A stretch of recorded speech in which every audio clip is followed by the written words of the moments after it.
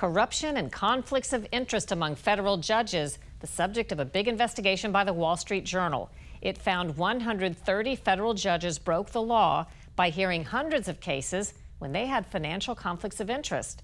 As a result of that series, Congress has proposed a law requiring judges to promptly report their finances, stock trades, and post the disclosures online, but it's being held up in the Senate. Today, we hear more from James Grimaldi, a Pulitzer Prize winning senior writer at the Wall Street Journal. Well, I was looking into the finances of Amy Coney Barrett, and I was looking for a way to digitize them. By the way, her finances weren't terribly interesting. It didn't result in a story. But I found someone who was digitizing the finances of federal judges, and their disclosure forms are very hard to get. They're cumbersome, they make it difficult. And someone who, in a nonprofit organization that was actually digitizing them, I knew immediately we could look and see are the judges following this very simple law, which says you cannot hold even a single share of stock in a company and hear a case involving that company eight months later, we, we had, you know, more than 130 judges who had broken the law involving 700 lawsuits. You wrote Judge Rodney Gilstrap, Chief of the U.S. District Court for the Eastern District of Texas, had the largest number of conflicts in the journal's analysis 138 cases assigned to him involving companies in which he or his wife held an interest. Mm -hmm. What happens when you discover that? You said it's against the law. Yeah, so he fought us on it. He really essentially denied that some of it was a conflict.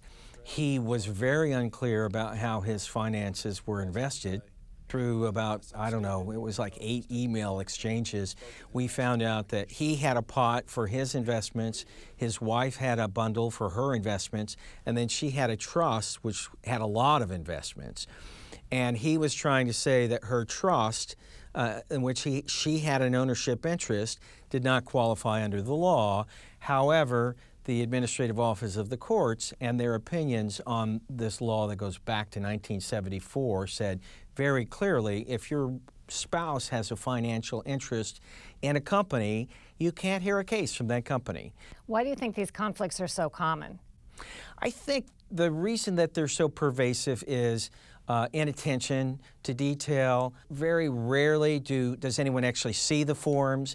They know that no one sees the forms. They don't take this at all very seriously, even though it's a law that's meant to build confidence in the judiciary. And But most importantly is the lack of transparency.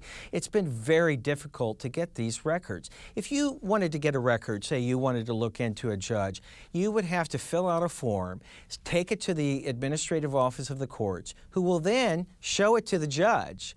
So if you're a, a lawyer filing a law, eh, have a lawsuit before a judge, you're going to be very reluctant to bring that up because the judge is going to get irritated with you and you might get some bad rulings even if it's subconsciously. And what would you say is the takeaway for people out of this whole series and what you learned?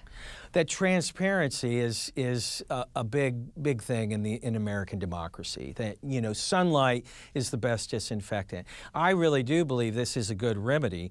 Um, but I also think another takeaway is that judges who have lifetime appointments really need to have more scrutiny and accountability. There needs to be more transparency into what they do, what they're invested in, how they operate, and when they have potential ethics violations.